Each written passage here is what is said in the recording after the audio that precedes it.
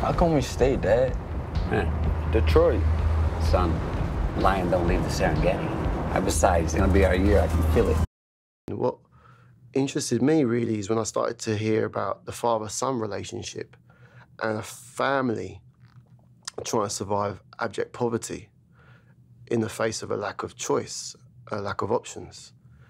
And, you know, I was new to living in America, and it was like, it started to feel when I was talking to him, certainly, that, you know, there's this lot, the father really believed in the promise of America, and this time next year we could be rich, we could turn our fortunes around, and if we do the right thing, it will come good.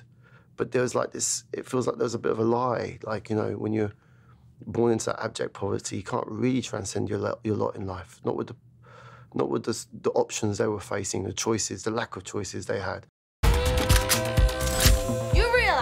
Worst father ever. I'm not gonna let you ruin your life, Don. No drugs in the house. Dad! When I spoke to him, to the real Rick, the thing that hooked me in was the dynamic, the relationship with him and his father and his sister.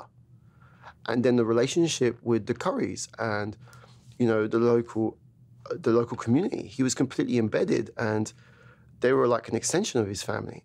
And I saw an opportunity to draw a parallel between the Wershes and the Currys. Like, here are two families trying to trying to survive uh, a landscape of a lack of choice. I mean, this was the American dream city, Detroit.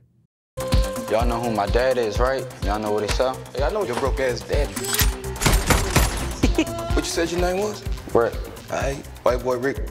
When I told him I found this kid from Baltimore, born into arguably abject poverty, you know, broken home, difficult circumstances, never done it before, 15 years old, had, had never even done a drama class, was failing at school, was going to get thrown out.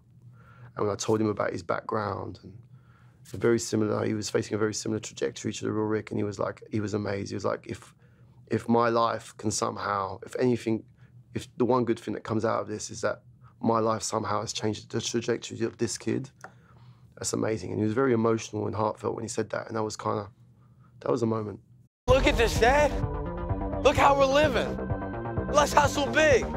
I know the players, man, I know the game. Hey, come on, Dad. I can do this. We can do this. When I screen tested him with the kid, from the word go, he took he took took Rick Richie under his arm, under his wing. You know, he really nurtured him, looked after him. Not too paternal, you know, just like like not not patronizing that respect, just giving him guidance and making him feel confident, comfortable. Whoa! Whoa! Shit! Hey. What? You all got him?